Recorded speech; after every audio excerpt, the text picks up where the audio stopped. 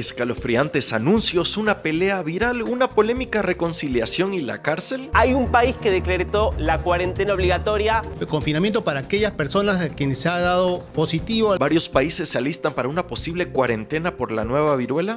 Oh, hardly. I find that to be purely logical. Thank you. que estas fotos, si no es que todas, han pasado por un sistema de edición. La abogada de Amber Heard se pelea en vivo y en directo con un testigo. Salvador Ramos, de 18 años. Siento mucho, muchos de los niños son nietos de amigos míos. Información de último momento de la tragedia sucedida en Texas. Lo más fuerte que, que yo tengo ahora mismo es la familia. Estoy apoyando a la familia, a mi amigo. El productor musical de Daddy Yankee y esposo de Nati Natasha va a la cárcel. ¿Qué está sucediendo con Pina Records? Se filtra video donde Sebastián Yatra dice que ni Camilo ni Raúl Alejandro están enamorados de sus parejas. Se filtra un polémico video de Sebastián Yatra y genera división en las redes. Y bueno, yo con Luna platiqué hace algunos meses. Este tema yo hace años lo había cerrado. La polémica youtuber Mujer Luna Bella y Justop deciden romper el silencio y contar un secreto. Todo eso y más a continuación. Buenas gente, ¿cómo están? Feliz jueves. El día de hoy tenemos varias actualizaciones, noticias bastante polémicas y bueno, no me quiero adelantar. Como ya saben, mi nombre es Candrés Peredo y en este canal vemos todo lo que está sucediendo en las redes sociales. Por eso les hago recuerdo de que no se olviden de darle clic acá abajito al botón rojo para suscribirse y activar esta campana de notificación pero con todas las notificaciones. Así YouTube les avisará tras que suba un nuevo video. Pero bueno gente, sin más preámbulos, empecemos. Hay un país que decretó la cuarentena obligatoria para los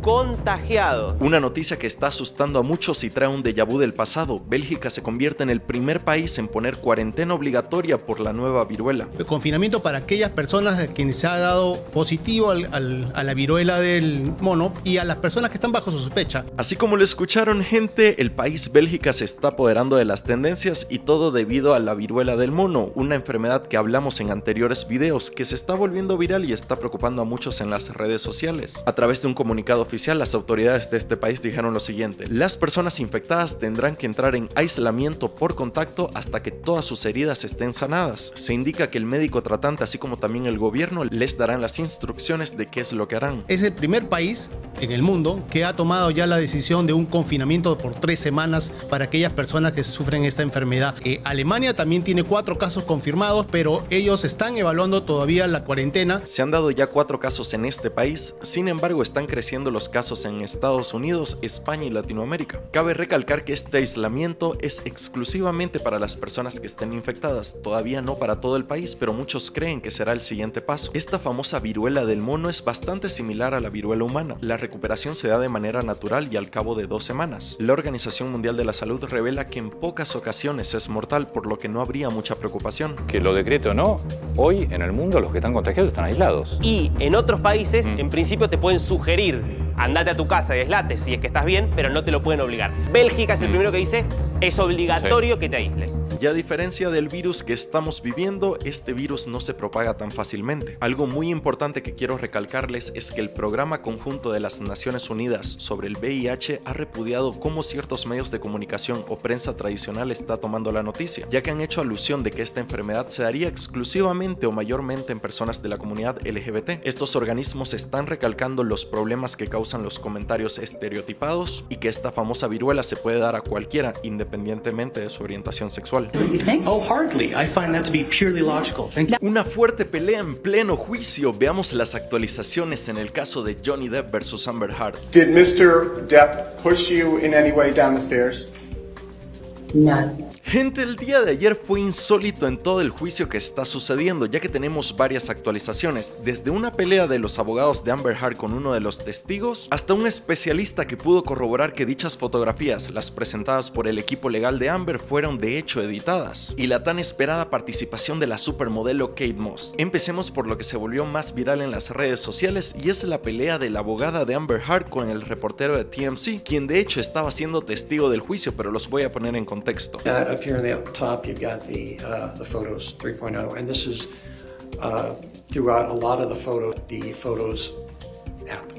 Same thing, Photos 3.0. And again, in a photo uh, editing app, you can do an awful lot of things. So when you see Photos 3.0, first of all, you know it's not anywhere near an original. Este reportero confesó que se contactó hace seis días con Camille, la abogada de Johnny Depp. Lo que sucede es que él trabajaba para TMC y de hecho fue él la persona que recibió el polémico video donde se podía ver que Johnny Depp estaba haciendo algo violento. Ese video en su momento se volvió viral en las redes sociales, de ahí empezó toda la campaña de desprestigio en contra de Johnny Depp y la fuerte revelación que hizo en este caso es que el video que él recibió está editado o diferente al video que se mostró en el juicio. You know this case is being televised, right? I, I am aware that there are cameras. And so this gets you your 15 minutes of fame, doesn't Objection, Your Honor. Argumentative. it? I, I can ask that question. Overruled. Um, so I stand to gain nothing from this. I'm actually putting myself kind of in the target of TMZ, a very litigious uh, organization, and I'm not seeking any 15 minutes here. Though you may, you're welcome to speculate. I could say the same thing by taking Amber Heard as a client for you. Es aquí donde las cosas se ponen tensas. La abogada de Amber Heard le pregunta, si no tienes nada para ofrecer en este juicio, ¿por qué te contactaste con la otra parte? ¿No será que ya sabías que este juicio estaba siendo televisado y simplemente querías tus 15 minutos de fama? La respuesta del reportero dejó a todo el mundo sorprendido, inclusive a los miembros de la audiencia o el jurado que se encontraban presentes.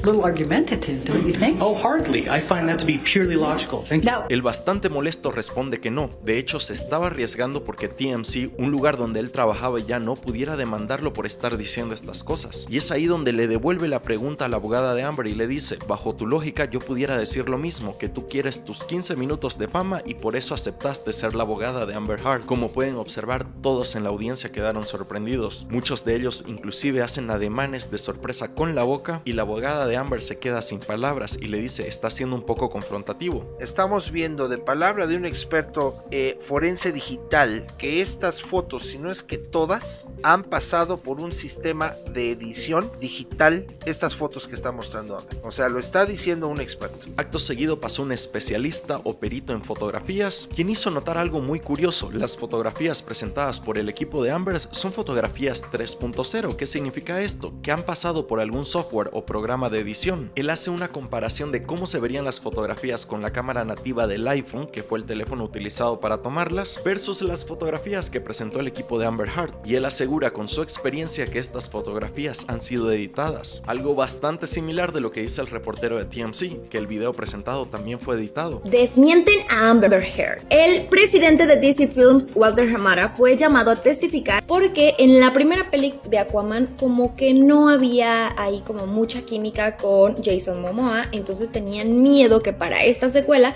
fuera lo mismo y de hecho estaban pensando en otra actriz para interpretar este personaje. Para concluir de manera bastante breve la participación de la supermodelo Kate Moss, que de hecho fue al comienzo, pero se las quiero traer al final ya que es muy cortito, ella asegura que en ningún momento de la relación ha sufrido algún tipo de violencia por parte de Johnny Depp, que en ningún momento ella fue empujada de las escaleras y que toda esa historia ha sido sacada de contexto. What, if anything, happened when you were in Jamaica with Mr. Depp? I, um, we were leaving the room, and Johnny left the room before I did, and there had been a rainstorm, and as I left the room, I slid down the stairs, and I hurt my back, and I screamed because I was in because I didn't know what had happened to me, and I was in pain, and um, he came running back to help me and carried me to my room and got me medical attention. Este ha sido un día decisivo y clave donde las cosas no pintan nada bien para Amber Heard. Como les digo, estoy trayendo estas últimas actualizaciones por TikTok. De hecho, el video ya supera las 4 millones de reproducciones, así que los invito a seguirme por allá. Así anunciaba el gobernador de Texas la identidad Salvador Ramos, de 18 años. Se descubre nueva información acerca de lo sucedido en Texas, una lastimosa tragedia que cobró la vida de 21 personas. ¿Por qué hizo esto el autor de 18 años? Tenía solamente 18 años. Se sabe que antes de salir de su casa en contra de su abuela. Gente, me costó mucho traerles esta noticia, no solo porque es difícil darlas, sino que también ustedes ya saben cómo son las políticas de YouTube. Por eso quiero traérselas, pero con bastante cuidado. Los medios de comunicación estaban informando que esta lastimosa tragedia se cobró la vida de 21 personas. En esta oportunidad, más que traerles la noticia, me quiero enfocar en algo que ha estado sonando bastante en las redes sociales, Salvador Ramos. Siento mucho, estoy, estoy, tengo dolor para todo porque muchos de los niños son nietos de amigos míos. Eh, y lo siento, lo siento por todas las familias, por todos. El pero compró las días después de su cumpleaños 18. El autor de esta lastimosa tragedia tenía 18 años de edad. Entre la información que se tiene, dos profesores, la abuela del sujeto y bueno, lastimosamente muchos niños perdieron la vida. Se reveló también que su abuela, luego de sufrir el primer impacto y aún con vida, intentó detenerlo. Los miembros del barrio la reconocen como Doña Ceci. Ramos luego de ser abatido por los policías que respondieron a la agresión y previo al ataque compartió en redes sociales fotografías donde se observan dos él ya había compartido fotografías mostrando estos que horas después utilizaría. Revelan que luego del primer impacto ella pedía por favor que se detenga, que no haga eso. Posteriormente él siguió. El joven de 18 años estaba en posesión de dos objetos que utilizó para cometer este acto, objetos que de hecho decidió subir a la red social Instagram antes de cometerlo. La misma cadena informó que trabajaba en el turno de día de un restaurante de hamburguesas en la localidad, al menos cinco días a la semana, de las 11 a las 16 o 17 horas. El gerente afirmó a CNN que Salvador se sentía como el tipo tranquilo, el que no dice mucho. Realmente no socializaba con los otros empleados. Se informa que el 18 de mayo el joven de 18 años compró 375 rondas de municiones sin ningún problema en una tienda local. Horas antes del hecho inclusive había subido fotografías a las redes sociales, fotografías que por obvias razones no puedo mostrárselas. Este es un tópico bastante difícil pero quería traerles un poco de contexto a la situación. Actual pareja de Nati Natasha que fue declarado culpable de posesión ilegal de armas. El esposo de Nati Natasha y productor musical de Daddy Yankee, Pina Records, condenado a más de cuatro años en la cárcel en Estados Unidos. ¿Qué sucedió? Lo más fuerte que, que yo tengo ahora mismo es la familia. La familia está conmigo. Él nos ha preparado para todo. Aquí estoy apoyando a la familia, a mi amigo. Y gente, esta noticia se está apoderando de las tendencias y los artículos en español más leído en los Estados Unidos. Un juez federal de Florida había considerado dar hasta más de cinco años a Pina Records de cárcel. Sin embargo, se quedó en 44 meses, siendo estos 3 años y 5 meses en prisión. El motivo, él hubiera violado la ley federal de armas que tiene este estado. También el cantante y productor Daddy Yankee, quien es su compadre y estuvo ahí presente, él dijo eh, que estaba ahí para apoyar a la familia y que esto no termina. Estoy seguro de que ustedes recordarán las canciones que dicen de fondo Pina Records. Muchos artistas, entre ellos Daddy Yankee y Nati Natasha, han alzado la voz en las redes sociales. Ellos se encuentran bastante preocupados y aseguran que esto simplemente es un mal momento que está sufriendo el productor musical. Sin embargo, las cosas están un poco más difíciles en este caso en particular. Este se entregó al tribunal para empezar con su condena de 41 meses en prisión por posesión de ilegales que tenía en una de sus casas en Caguas, Puerto Rico. Quiero pintar como que el reggaetón es del bajo mundo. ¿Cuándo acabarán con esa teoría? Hoy yo me voy a prisión, pero voy a volver y voy a pelear por mis derechos.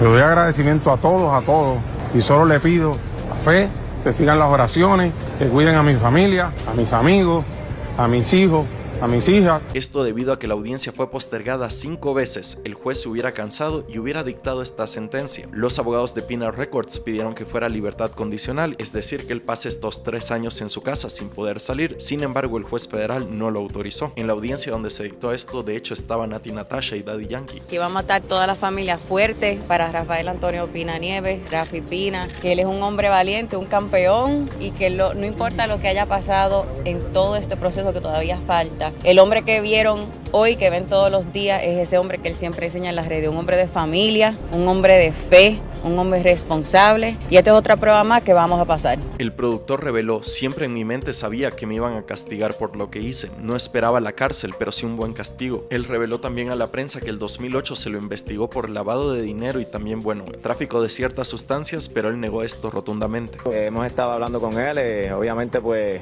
eh, ustedes lo han visto a él, por su naturaleza está preocupado, pero a pesar de todo se siente bien. Él dijo, quisieron pintar como que el reggaetón es del bajo mundo, ¿cómo voy a acabar con esta teoría? Hoy me voy a prisión, pero voy a volver, voy a pelear por mis derechos. Esto se da debido a que encontraron ciertas armas en uno de sus domicilios. Arma ya venta está completamente prohibida. Se filtra video donde Sebastián Yatra dice que ni Camilo ni Raúl Alejandro están enamorados de sus parejas. Se filtra un polémico video donde Sebastián Yatra habla mal de sus colegas de trabajo. Veamos de qué se trata esta noticia. Camilo no está enamorado de Eva Luna, fueron palabras textuales de Sebastián Yatra. El nombre del cantante Sebastián Yatra se ha apoderado de las tendencias en la red social Twitter y como pueden observar, la prensa tradicional ya estaba haciendo cobertura de esta noticia. Los medios estaban reportando que un video se hubiera filtrado donde él estaba conversando con Susana Jiménez, ya que recordemos están grabando un programa especial en Buenos Aires, Argentina. Pese a que los cantantes Camilo y Raúl Alejandro siempre se han mostrado enamorados de sus parejas, en redes sociales empezó a circular un corto video en el que otro cantante niega que así sea. Una de las conductoras más icónicas de la televisión de este país junto a Sebastián Yatra decidieron vestirse de incógnitos y pasear por el subterráneo de la ciudad. Entre los videos que se están volviendo virales en las redes sociales, Sebastián Yatra habla acerca de Raúl Alejandro y Rosalía, así como también de Camilo y Eva Luna, donde nos asegura que ambas parejas en realidad no se aman, dando a entender que quizás están juntos por conveniencia o marketing. ¿Es cierto? Sí. Sí. No puede ser. Sí, no, no. No puede ser. No, ni Camilo ni Raúl. ¿Qué? Están enamorados. También él habla de su anterior pareja, Tini. Y bueno, las redes sociales tienen sus teorías, en especial en Twitter. A muchas personas le llamó la atención cómo este video fue filtrado y creen que en realidad se trata de una estrategia de marketing. Quizás se viene una colaboración entre Raúl Alejandro, Camilo y Sebastián Yatra. Hora después de hacerse viral, el cantante Raúl publicó lo siguiente. La mayoría de los comentarios es diciendo que fue un broma lo que dijo Yatra. ¿Ustedes qué opinan? Otros creen que en efecto él piensa eso de estas parejas, ya que muchos consideran que hay ciertas relaciones en la industria de la música que son en realidad por conveniencia. Esas son las teorías en las redes, quiero preguntarles a ustedes qué creen. Y bueno, yo con Luna platiqué hace algunos meses. Luego de una enemistad bastante pública y cosas muy fuertes que se dijeron, la youtuber Justop se reconcilia con Mujer Luna Bella. Lo que sí es que este tema yo hace años lo había cerrado. Gente, les voy a dejar algunos titulares en la pantalla para que recuerden un poco de qué se trataba esta polémica, ya que data del año 2018, donde la youtuber Justop tuvo un enfrentamiento público y bastante fuerte con la también youtuber y creadora de contenido para adultos Mujer Luna Bella. A lo largo de los años, Justop se ha mostrado en contra de Mujer Luna Bella y de hecho ha realizado un par de videos donde hablaba acerca de esta youtuber, su estilo de vida y bueno, algunas cosas que decía en las redes sociales. Pero es evidente que pues están los seguidores que te mantienen como informada, te mantienen al tanto de, los sucesos, de lo que va pasando y pues eh, muchos entrevistadores me buscaban para entrevistarme, para preguntarme sobre pues yo. Por su parte, la youtuber Mujer Luna Bella tampoco se ha quedado callada y decidió hacer públicos ciertos conflictos que habían tenido en privado en diversos eventos. Mujer Luna Bella subió un video titulado Un mensaje para Joss, Top subió un video titulado Mi respuesta a Mujer Luna Bella y bueno, este conflicto fue siguiendo a lo largo de los años hasta el día de hoy. Este es un libro que genuinamente me interesa leer y voy a leer. Creo que tiene mucho que compartir, pero sobre todo creo que el espectador tiene mucho que aprender de historias Thanks. Como, como la de ella, que aún no estoy muy... Recientemente Mujer Luna Bella estuvo en el podcast de The Brian Show, mejor conocido como Rayito, quien es por cierto el hermano de Justo. Ambas youtubers tenían esta conexión en común, ya que por un lado Mujer Luna Bella era amiga de Rayito y por el otro Joss es su hermana. Al parecer en la filmación de este podcast, Mujer Luna Bella le obsequió un libro regalado para Justo. Sí, sí, sí me tomé el atrevimiento de mandarle a través de Rayito de Grecia un, mi libro, mi historia de vida a Joss. Ya le llegó, eh, la verdad es que eh, se lo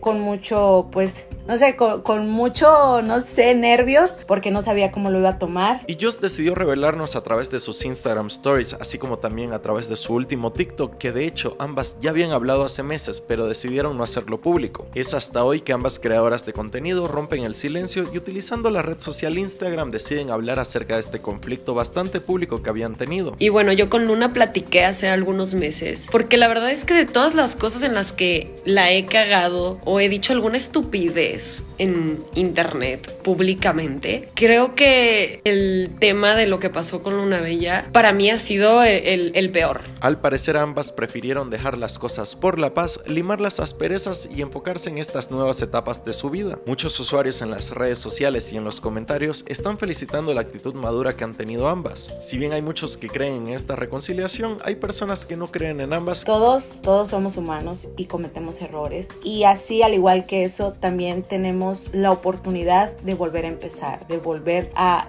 hacer las cosas bien, de, de enmendar nuestros errores. Ya que por diversas razones desconfían de la palabra de Mujer Luna Bella o la de Justo. Es aquí donde yo quiero preguntarles, gente, ¿ustedes qué opinan? ¿Creen que ambas han crecido y han cambiado su actitud? Hola, soy José y mi historia sí pudo ser contada. Y gente, un pequeño bono que apreciaría muchísimo si me pueden ayudar. Lo que pasa es que uno de mis mejores amigos, José González, está a punto de sacar un mini documental que se llama Fandoms. Son cinco capítulos donde se enfocan en los fanáticos de los youtubers más icónicos que tenemos en la plataforma. Ahora quiero que la tuya la conozca el mundo entero.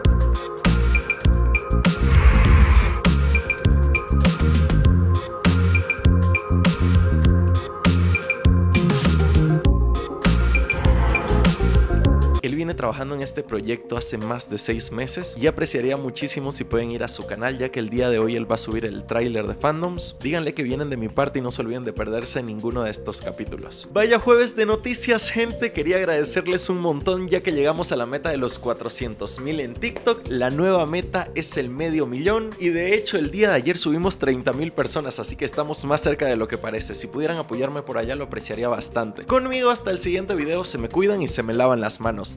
Vemos.